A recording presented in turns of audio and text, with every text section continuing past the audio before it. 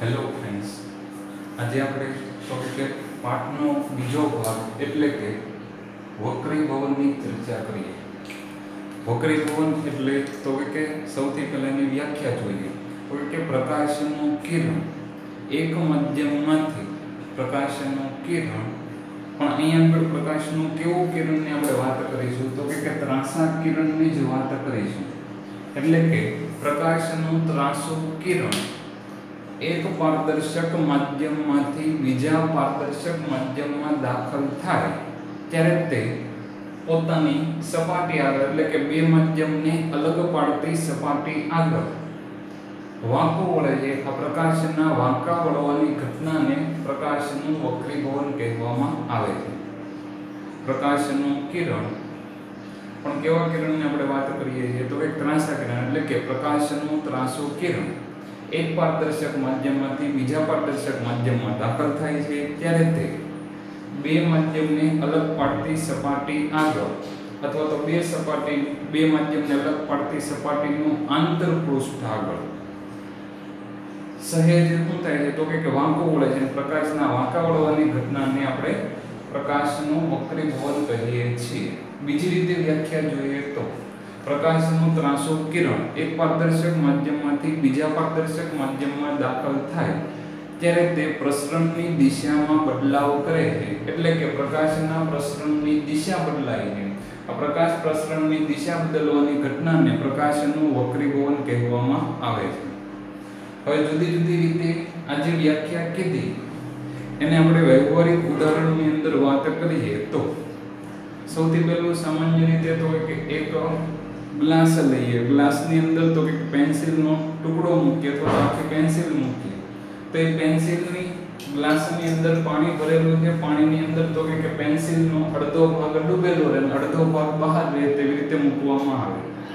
તો પેન્સિલ છે તેને જે બે માધ્યમને અલગ પાડતી સપાટી એટલે કે હવા અને પાણીનું માધ્યમ જે બંને પારદર્શક માધ્યમો હોય. તો બંને માધ્યમને અલગ પાડતી સપાટી આગળ પ્રકાશનું કિરણ શું થશે? તો કે વાંકો વળે છે. પરિણામે આ જે પેન્સિલનો અંદરનો ભાગ હોય. ત્યાંથી આવતા પ્રકાશના કિરણોની સરખામણીમાં. બહારના કિરણો એ અલગ દિશામાંથી આવતા હોય એવું જણાય છે. અને પરિણામે આ જે બે માધ્યમને અલગ પડતી સપાટીનો ભાગ છે. ત્યાં આગળ તો કે તમને પેન્સિલ જે તૂટેલી જોવા મળે. એની પાછળનું કારણ કે પ્રકાશના કિરણોનો માર્ગ શું થાય છે? બદલાય છે. કારણ કે પાણીમાંથી આવતા પ્રકાશના કિરણો જ્યારે હવાના માધ્યમમાં દાખલ થાય છે, ત્યારે તે પ્રસરણની દિશામાં કરે છે, તો કે સહેજ વળે છે. આ જે પ્રકાશનું કિરણ વાંકું વળે છે એને વક્રીભવનની ઘટના કહીએ અને પરિણામે આપણને પેન્સિલ તૂટેલી જોવા મળે એટલે કે પેન્સિલ છે એ તૂટેલી દેખાય તે પાછળનું કારણ પ્રકાશનું વક્રીભવન છે. હવે તો કે અહીંયા આગળ જે આપણે પાણીનું માધ્યમ લીધું, એને આપણે કહીએ છીએ પ્રકાશીય ઘટ માધ્યમ. બેઝિક શબ્દ છે એ થોડાક આપણે સમજતા જઈશું. પ્રકાશીય ઘટ માધ્યમ, હવાનું માધ્યમ છે એ.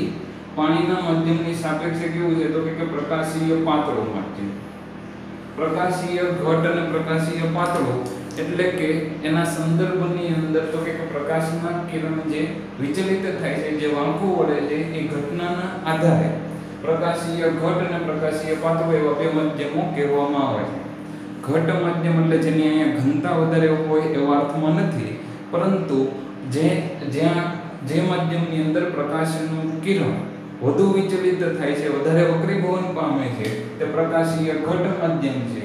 જે માધ્યમમાં પ્રકાશનું કિરણ છે, એ વધારે વિચલિત થતું નથી વક્રીભવન પામતું નથી. અથવા તો બીજા શબ્દમાં કહીએ તો જ્યાં આગળ તેની ઝડપ ઝડપ ઓછી હોય તે પ્રકાશીય કેવું માધ્યમ છે? તો કે ઘટ માધ્યમ છે. જ્યાં આગળ પ્રકાશના કિરણની ઝડપ કેવી હોય, ઓછી હોય, તે પ્રકાશીય કેવું માધ્યમ છે? ઘટ છે. હવાના માધ્યમમાં પ્રકાશનો વેગ અથવા તો પ્રકાશની ઝડપ સૌથી વધારે હોય છે. તેથી તે કેવું માધ્યમ છે? તો કે પ્રકાશીય પાતળું માધ્યમ છે. ફરીથી યાદ રાખીએ કે પ્રકાશ છે તે હવામાં કેટલી ઝડપ સાથે આગળ વધશે? ત્રણ ગુણ્યા દસની આઠ મીટર પ્રતિ સેકન્ડ અથવા તો ત્રણ લાખ કિલોમીટર પ્રતિ સેકન્ડ. એટલે કે પ્રકાશીય ઘટ માધ્યમ અને પ્રકાશીય પાતળો માધ્યમ. હવે એના સંદર્ભમાં આપણે યાદ રાખીએ કે પ્રકાશીય ઘટ માધ્યમ હોય એટલે કે પાણી પાણીના માધ્યમમાંથી પ્રકાશનું કિરણ જો હવાના માધ્યમમાં દાખલ થાય એટલે કે પ્રકાશીય પાતળા માધ્યમમાં દાખલ થાય, તો તે લંબથી કેવું જશે તો કે દૂર જશે. એટલે કે અહીંયા આગળ આપણે જોઈએ છીએ તો કે આ હવાનું માધ્યમ છે. આ હવાનું માધ્યમ છે.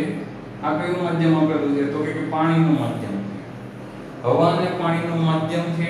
આ બે માધ્યમને અલગ પાડતી સપાટી છે આ સપાટીએ દોરેલો લંબ છે સપાટીએ દોરેલો લંબ mm ડેશ અથવા nm ડેશ જે રાખીએ તે અહીંયા આગળ તો કે પ્રકાશનું કિરણ અત્યારે કઈ દિશામાંથી આપત થયેલું દર્શાવેલું છે તો કે હવા હવાનું માધ્યમ એટલે તો કે પ્રકાશીય પાતળું માધ્યમ પ્રકાશીય પાતળા માધ્યમમાંથી ઘટ માધ્યમની અંદર જો પ્રકાશનું કિરણ પ્રવેશ કરે પ્રકાશીય પાતળા માધ્યમમાંથી પ્રકાશીય ઘટ માધ્યમમાં જો પ્રકાશનું કિરણ પ્રવેશ કરે, તો તે કઈ તરફ વળે છે? તો કે લંબ તરફ વળે છે.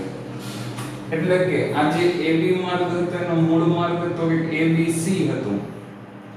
જ્યારે તમે હકીકતમાં પ્રકાશનું કિરણ જોવો છો, તો એ કયા માર્ગે આગળ વધે છે? તો કે C ડેશ એટલે કે BC ડેશ છે એ પ્રકાશનું વક્રીભવન થયા પછી આપણને મળેલું કિરણ છે. એટલે કે તે કઈ તરફ વળે છે? તો કે લંબ તરફ વળે છે. એટલે યાદ રાખીએ કે પ્રકાશીય પાતળા માધ્યમમાંથી જ્યારે ઘટ માધ્યમમાં પ્રકાશનું કિરણ પ્રવેશે છે, ત્યારે તે કઈ તરફ વળે છે? તો કે લંબ તરફ. એવી જ રીતે જો ઘટ માધ્યમમાંથી ક્યાં આગળ વાત કરતા હોઈએ, હવાના માધ્યમમાં, તો પ્રકાશનું કિરણ લંબથી શું જશે? તો કે દૂર તરફ જાય. હવે જુદી જુદી પ્રવૃત્તિઓ સાથે ફરીથી એક વખત જોઈએ.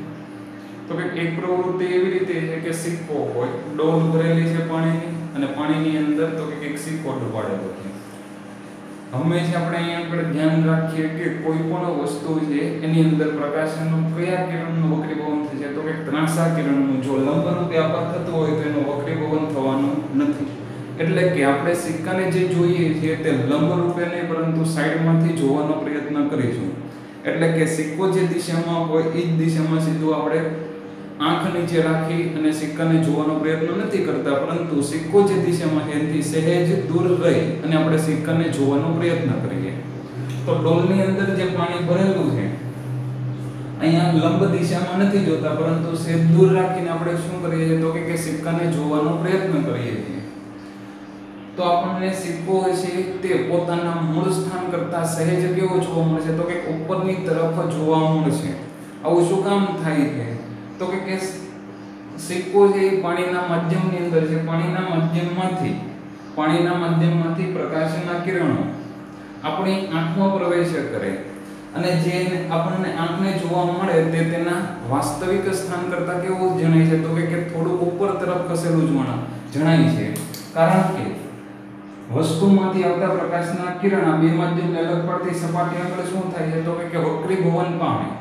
વક્રીભવન પામે અને ક્યાં આગળ જાય તો કે લંબથી દૂર જાય છે.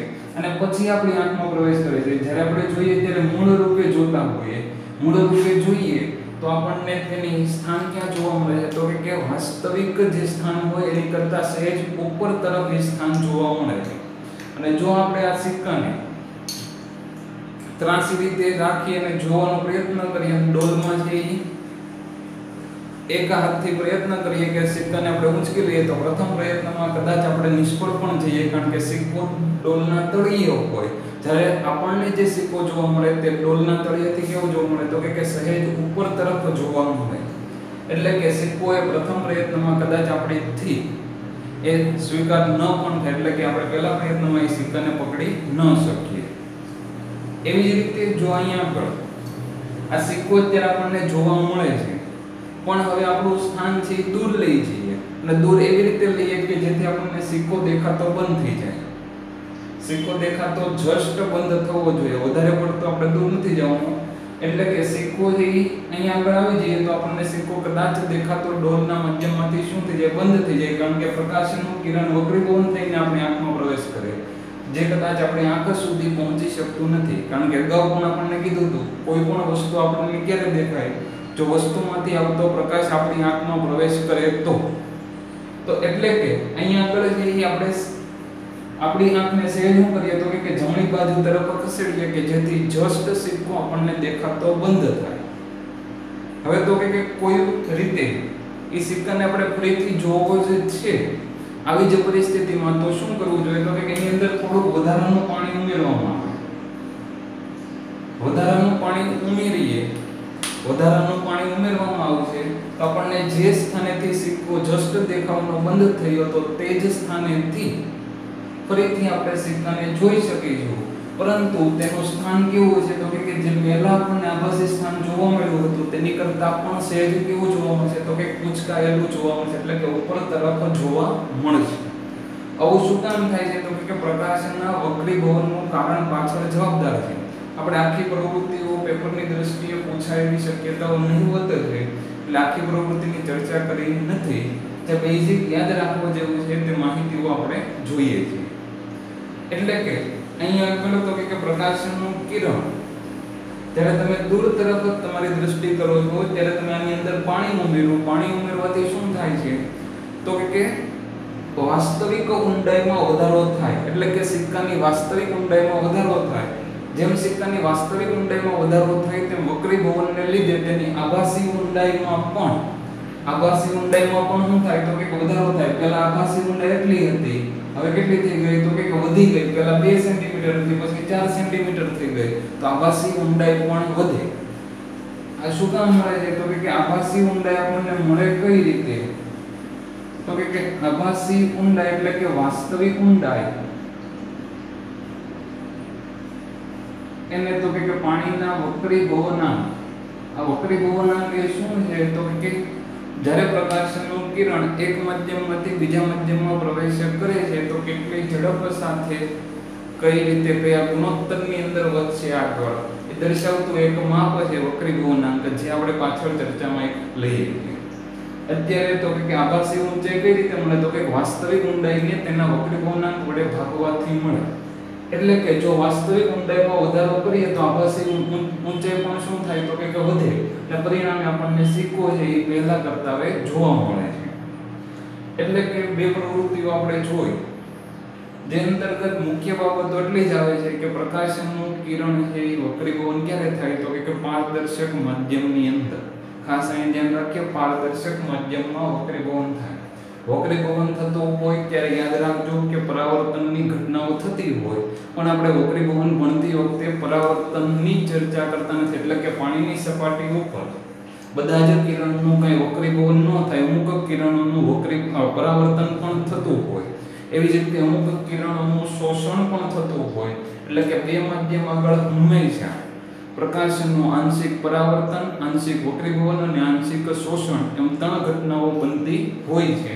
જે પૈકી અત્યારે આપણે કઈ ચર્ચા કરીએ છીએ વક્રીભવન એટલે કે બીજી બે ચર્ચાઓ અત્યારે આપણે સ્વીકારતા નથી.